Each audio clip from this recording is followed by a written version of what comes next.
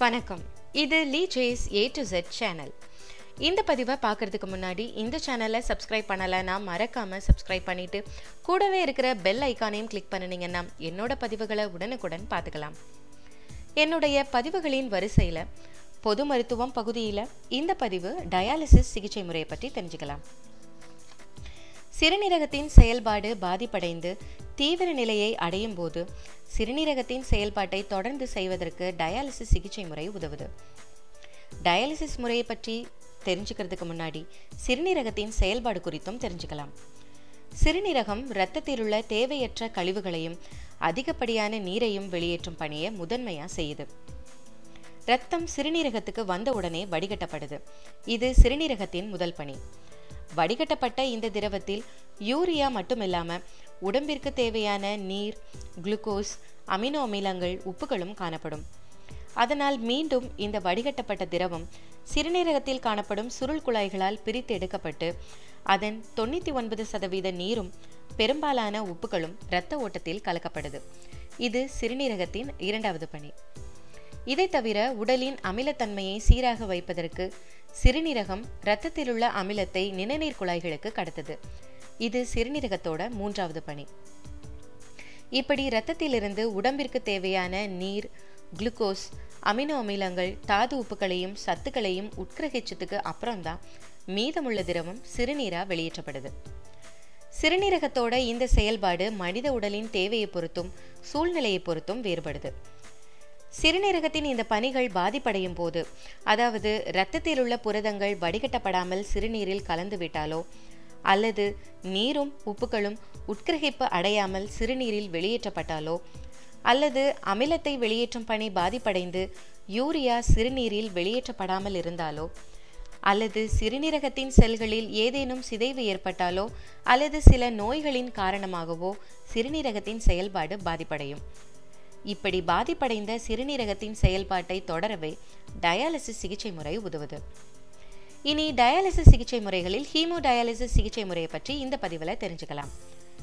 Haemo dialysis சிகிச்சையை செய்வதற்கு உதவுற கருவியின் பேர் தான் டயாலைசர் அல்லது டயாலிசிஸ் கருவி.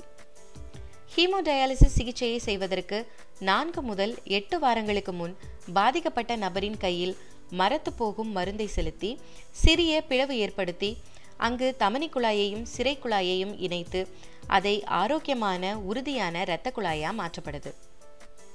பின் தையலிட்டு மூடப்படுது. இந்த காயம் ஆறிய பின்தான் டயாலிசிஸ் சிகிச்சை மேற்கொள்ளப்படுது. நான்கு அல்லது எட்டு வாரம் கழித்து டயாலிசிஸ் சிகிச்சையின் போது இந்த புதிய இரத்த குழாயில் இரண்டு ஊசி குழல்கள் செலுத்தப்படும். ஒரு குழல் வடிகட்டப்பட வேண்டிய இரத்தத்தை டயாலிசிஸ் கருவிக்கு எடுத்துச் செல்லவும் மற்றொரு குழல் கருவியிலிருந்து சுத்திகரிக்கப்பட்ட இரத்தத்தை உடலுக்குள் செலுத்தவும் உதவுது.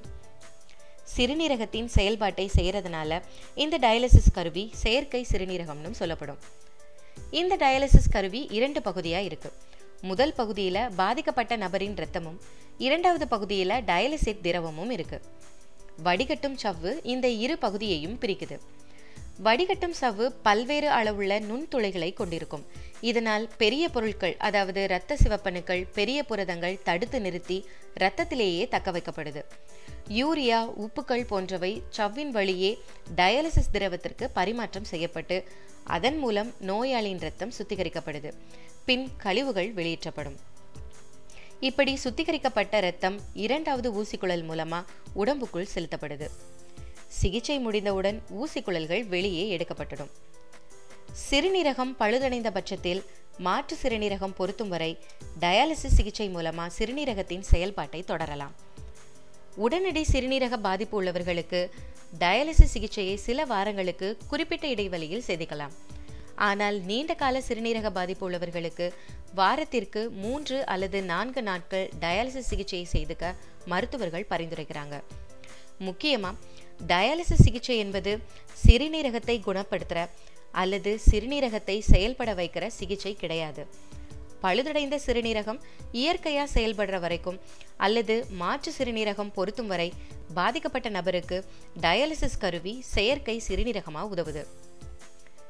சிறுநீரகத்தில் பாதிப்பு ஏற்படாமல் முன்கூட்டியே சிறுநீரகத்தை பாதுகாப்பதுதான் சிறந்தது.